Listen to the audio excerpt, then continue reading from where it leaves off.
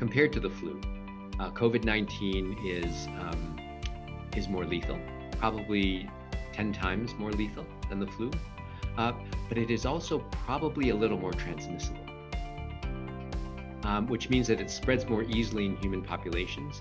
You know, over 80% of the people who acquire the infection are mildly symptomatic or asymptomatic, so they don't people don't know that they're spreading it.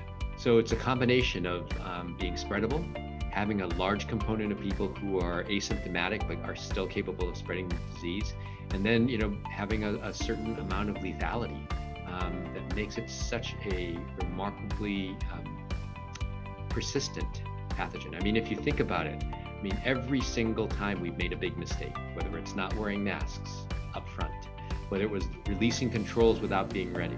I mean, the virus has found the weak point every single time.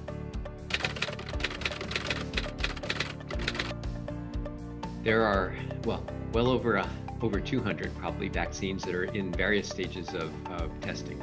Some of them are you know, conceptual, some of them are being actually developed in the lab and tested in animals. 47 are in human clinical trials.